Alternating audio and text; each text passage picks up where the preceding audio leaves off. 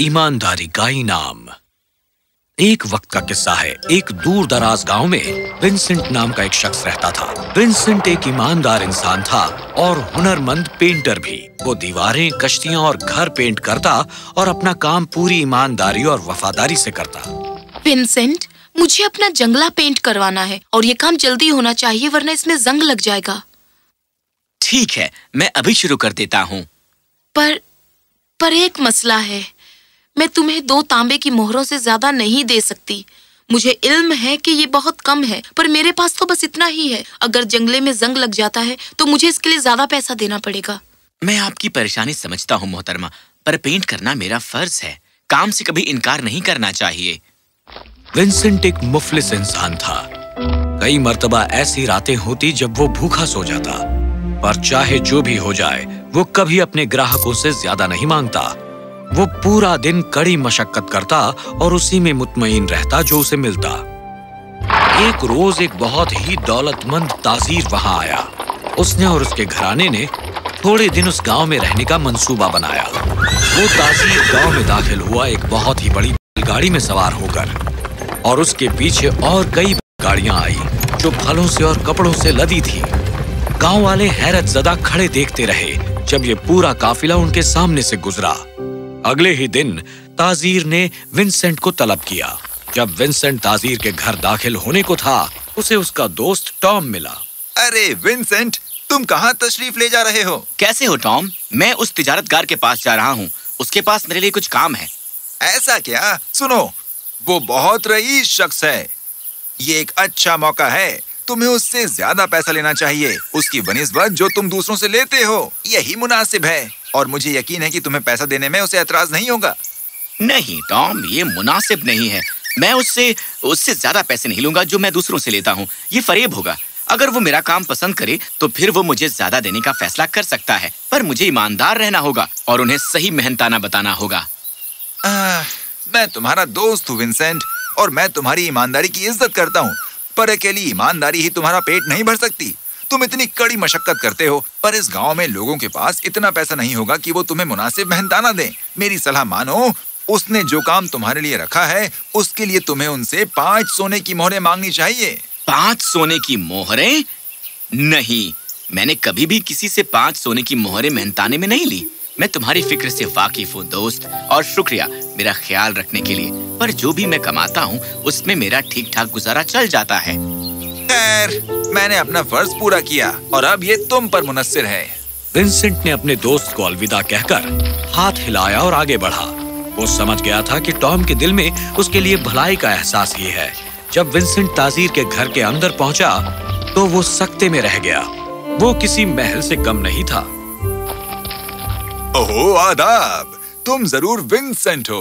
वो पेंटर हाँ मैं वही हूँ हुजूर। आपके पास मेरे लिए कुछ काम था?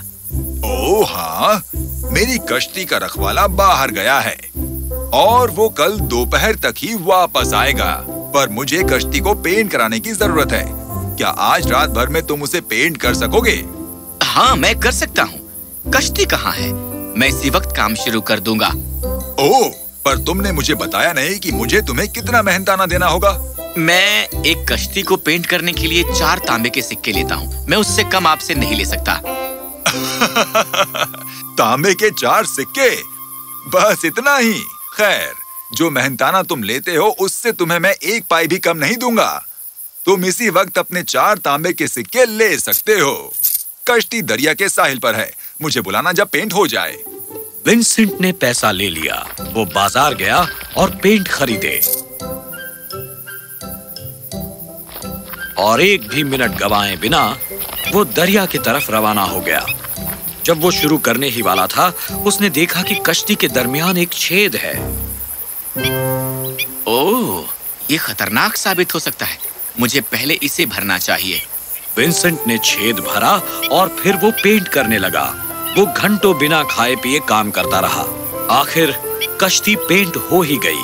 वो वहाँ से गया और ताजीर को कश्ती देखने के लिए बुलाया।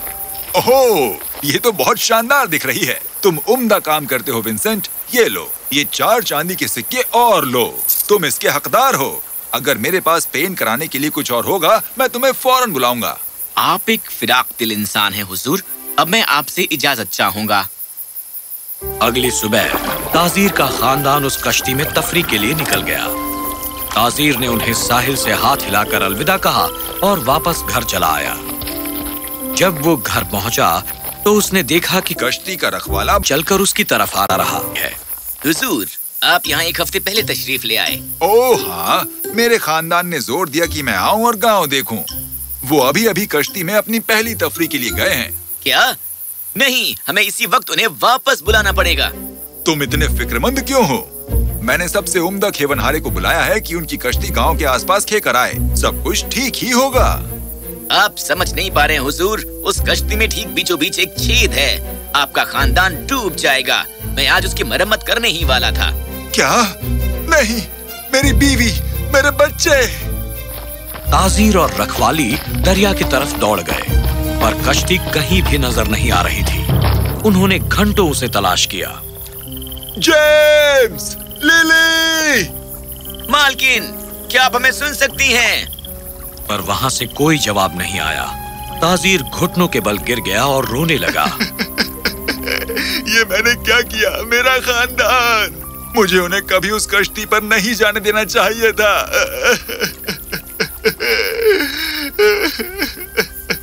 जब वो खुद पर इल्ज़ाम लगाते हुए वहाँ बैठा था उसके बीवी और बच्चे उसी कश्ती में वापस आए।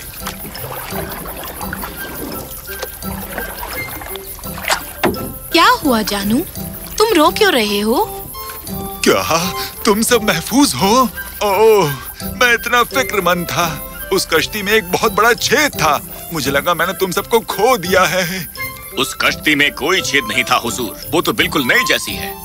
मुझे इतनी खुशी है कि आप सब महफूज हैं पर मैं ये समझ नहीं पा रहा कि ये कैसे मुमकिन है। मुझे ये हकीकत मालूम है कि वहाँ एक बहुत बड़ा छेद था ठीक कश्ती के बीचों बीच जाने से पहले मुझे उसकी मरम्मत करने का मौका नहीं मिला। आखिर किसने उसकी मरम्मत की? ताजीर ने कुछ देर सोचा फिर वो समझ गया कि क्या हुआ था और फ़ौरन उसने विंसेंट को बुलवा भेजा। विंसेंट ताजीर के घर पर आया। विंसेंट ये लो मेरे दोस्त। आ, ये है क्या? ये तुम्हारा इनाम है सोने की सौ मोहरें। क्या? इनाम किस बात के लिए? तुम्हारी मेहनत और ईमानदारी के लिए इनाम। तुमने मेरे खानदान की जान बचाई है विंसेंट। तुमने कश्ती के छेद को भर दिया ये तुम्हारा काम नहीं था और तुमने उसके लिए मुझसे अलग से मेहनताना भी नहीं लिया। पर हुजूर सोने की सौ मोहरे बहुत ज़्यादा ही हैं एक कश्ती का छोटा सा छेद भरने के लिए। सोने की सौ मोहरे भी कुछ नहीं है उसके मुकाबले जो जाने तुमने बचाई है विंसेंट ले लो। विंसेंट को अपनी तकदीर पर यकीन नहीं हो रहा था। कल तक वो बस एक पेंटर था, जो गुजारे तक ही कमा सकता था। और आज वो सोने का मालिक था। उस दिन के बाद से विंसेंट कभी भूखे पेट नहीं सोया, क्योंकि उसे अपनी ईमानदारी के लिए इनाम मिल चुका था।